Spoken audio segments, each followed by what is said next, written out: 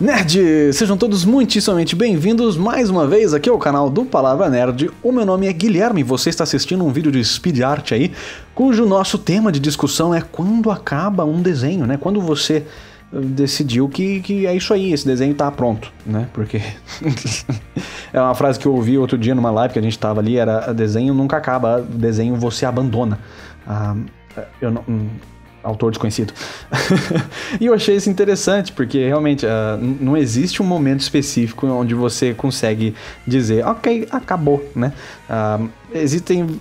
Uma das maneiras que você pode pensar nisso é se você tiver um processo, que nem a gente discutiu no nosso último vídeo. Uh, era essa ideia de ter um processo. E se você tem um processo, assume-se né, que quando você terminar os itens do seu processo, o seu desenho está acabado, não é? Você terminou, você fez tudo que você precisava, ou tudo que dava para ser feito para aquele desenho dar certo.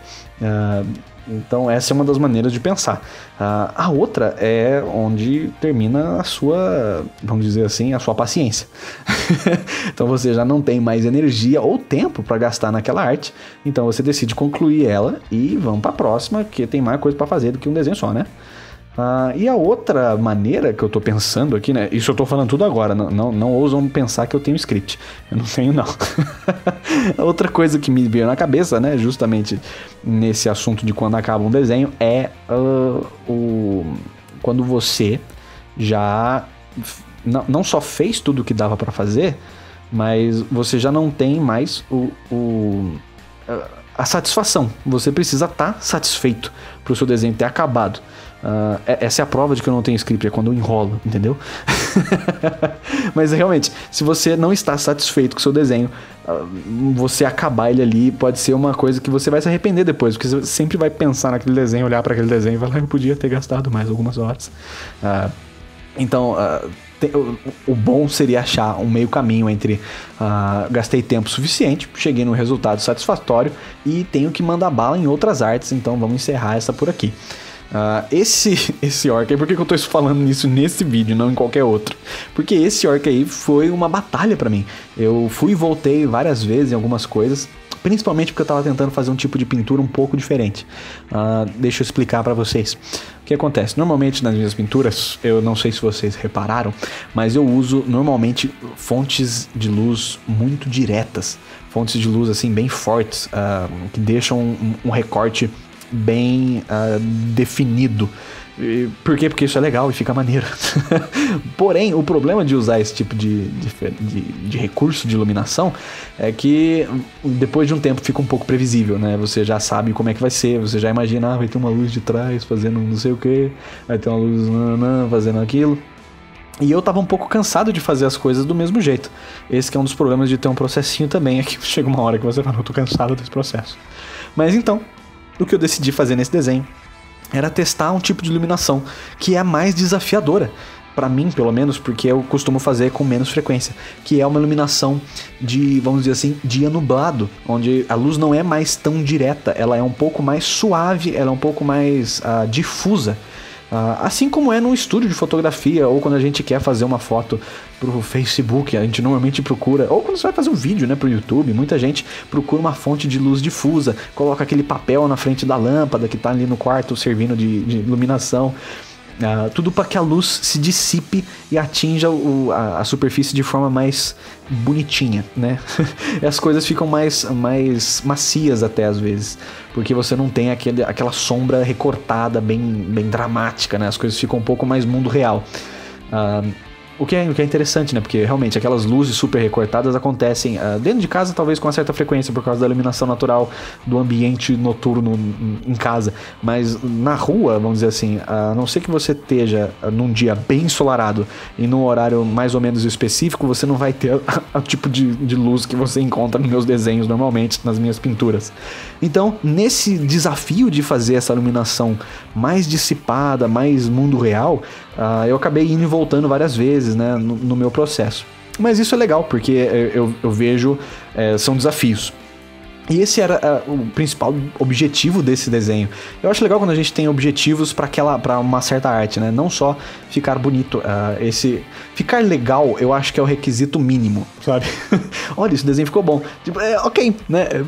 Legal, vamos, vamos além disso, né? Ficar bom é o mínimo que você pode fazer se você tá querendo realmente trabalhar com esse tipo de coisa ou se você tá realmente querendo aprender. Ficar bom é o objetivo número um objetivos a, acessórios são interessantes. Que é, eu quero aprender isso, eu quero testar aquela iluminação, eu quero ver como é que fica, por exemplo, uh, como é que eu posso fazer um rosto com tinta depois de eu já ter feito o rosto, né? Como é que eu mexo com, essa, com essas ideias. Então, esses todos são desafios que eu decidi assumir para esse vídeo ah, para esse orc aí. Que uh, basicamente, galera, você não tem como colocar tinta na cara de um cara atravessando o olho e não lembrar o Kratos. É impossível. E eu aceitei isso. Tanto que este personagem ficou conhecido como Orc of War. É assim que eu estou chamando ele. Não é uma imitação do Kratos tão assim na cara. Mas é, né, fazer o quê? Pintou o olho de vermelho, virou Kratos, não tem, não tem jeito. Uh, uma das coisas que eu até tô fazendo aí, vocês podem perceber que no começo dessa arte, as linhas eram muito mais afiadas, né? Os contornos eram muito mais uh, uh, quebrados, né? E eu acabei suavizando a maioria dos contornos do orc, porque eu tava ali querendo encontrar um caminho para um proto-realismo que desse certo. Vocês estão vendo agora que eu acabei de mudar quase tudo. Eu estou aumentando o, a, a, tela, eu estou colocando isso. Isso é outro dia. Eu tinha feito boa parte daquela pintura num dia só e foi muito trabalho. E eu tô acostumado a fazer muitos desenhos aqui do canal em uma, em uma sessão só, vamos dizer assim. Uma, em uma única sentada. E, e eu vi que para esse orc eu precisaria sentar mais uma vez. Então, a, segunda mensagem desse vídeo, né, de onde acaba o seu desenho, uh, se você tem como, se você não está satisfeito e você está fazendo isso por, por, um motivo pessoal, né, ou até mesmo para um cliente, uh, tenta jogar aquele extra, né, tenta jogar aquela, aquela coisa a mais. Eu estava vendo que muitas vezes, uh, sabe aqueles negócios de antes e depois, às vezes não é realmente que a pessoa aprendeu super altas técnicas e evoluiu pra caramba em super pouco tempo. Talvez o que ela tenha aprendido naquele pequeno tempo tenha sido a perseverança de continuar em um desenho e de manter aquele trabalho fluindo, né? Eu acho que isso às vezes pode ter um impacto mais positivo, né? A maneira como você encara o seu processo de pintura pode ter um impacto mais positivo do que você realmente aprender super mega técnicas e comprar brushes legais. Um, eu acho que a maneira como você enxerga o seu processo de trabalho vai com certeza mudar a maneira que o seu desenho sai no final, né? Porque desenhar, no final das contas, é um processo, apesar de que o resultado seja aquela coisa estática, né? Uh, o que eu decidi fazer aí foi: eu vou adicionar pelos nesse cara. Eu peguei mais um pouquinho de inspiração no filme do Warcraft, né? No filme mais recente. Eu gosto de orcs assim, uh, provavelmente é por causa de Warcraft, apesar de eu não ter jogado nem consumido muito a cultura, eu eu acabei sendo influenciado por essa imagem do orc mais ou menos verde, com os, os dentões gigantes saindo para fora e tudo mais.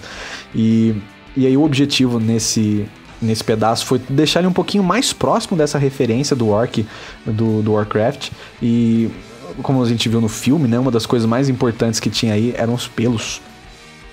E o que eu decidi fazer para levar esse desenho para um outro nível, né, para um nível maior de esforço do que eu estava fazendo antes, era adicionar muito mais detalhes, né, tentar deixar isso um pouco mais realista, já que eu estava meio que pendendo para esse lado nessa arte, um pouquinho mais uh, renderizado do que eu faço normalmente.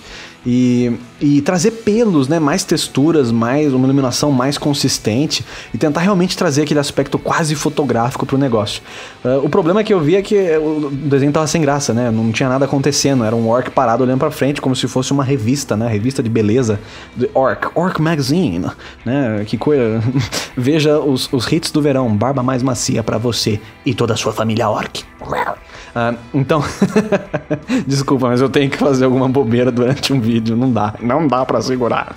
E aí, então, eu coloquei uma explosão verde no fundo, porque eu lembro da magia ter esse aspecto bem verde, né? A, o verde ser um código, né, para magia do mal, uh, em todo aquele filme do Warcraft. E eu fiz ali uma explosão verde de, sei lá, do mago maluco lá. E para tentar realmente dar é, essa, essa liga. E eu tive um pouquinho de uma chance de colocar ali uma iluminação verde vindo do fundo e atingindo o orc de um outro ângulo para dar aquela ideia do que gente já conversou, né? De ter mais uma chance para delimitar os volumes do rosto e trazer um pouquinho mais do 3D para o nosso desenho. É isso aí, galera. Essas são as dicas de hoje. E este é o nosso Orc of War, galera. Espero que vocês tenham curtido mais este vídeo aqui no canal do Palavra Nerd. Eu com certeza adorei produzir essa arte. Penei, né? Fui, voltei, sentei duas vezes para fazer. No total foram três horas de desenho.